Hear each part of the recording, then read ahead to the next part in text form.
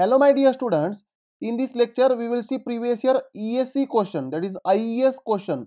This question was asked in IES 2014 for 4 marks. Very simple question. The question is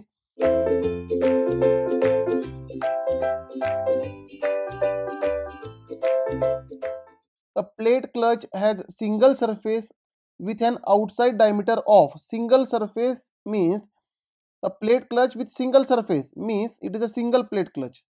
It is a single plate clutch that you need to understand.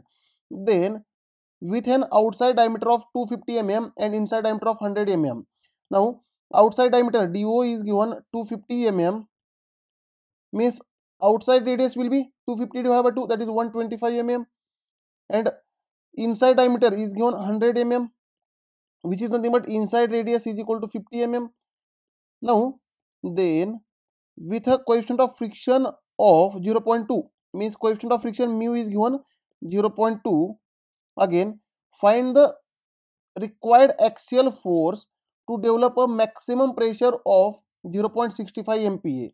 Now here for maximum pressure for maximum pressure of 0.65 MPa that is 0.65 Newton per mm square what is the axial force? That is w normal load. This w we need to calculate. Again under this pressure find torque capacity of the clutch. Also we need to find torque capacity of the clutch under this pressure right? Now as maximum pressure is given there will be a minimum pressure also. And whenever nothing is mentioned always we have to use uniform wear theory. Means here we have to solve this problem as per uniform wear that is pressure into radius product is constant. As per uniform wear theory pressure into radius product is constant. Means as pressure increases radius is decreasing. Means at maximum pressure there is minimum radius. And at minimum pressure there is maximum radius. Therefore we can say pr is equal to constant which is nothing but maximum pressure into minimum radius is inside radius is equal to minimum pressure into maximum radius which is outside radius which is nothing but here maximum pressure is given.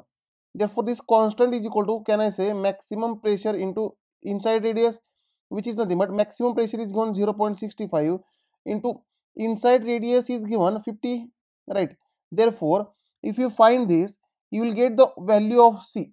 You will get the value of c right? In newton mm newton per mm square in pressure newton per mm square is pressure and mm is radius. Therefore it is newton per mm the value of C will be Newton per mm.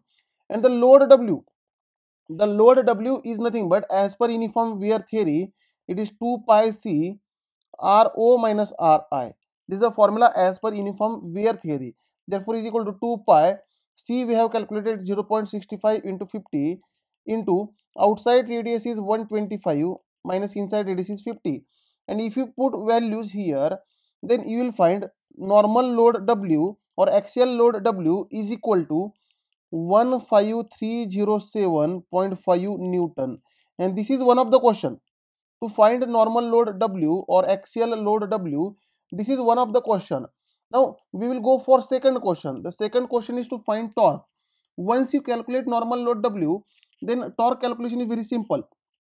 As per uniform wear theory the torque transmitted is equal to 1 half mu w r o plus r i. This formula is for single plate clutch right? Now therefore torque transmitted is equal to 1 half. Coefficient of friction is given 0.2 into w. Just we have calculated 15307.5 into outside radius is 125 plus inside radius is 50 now if i put all the values then the torque i will get torque is equal to the answer will be 267.88 into 10 to the power 3 Newton mm.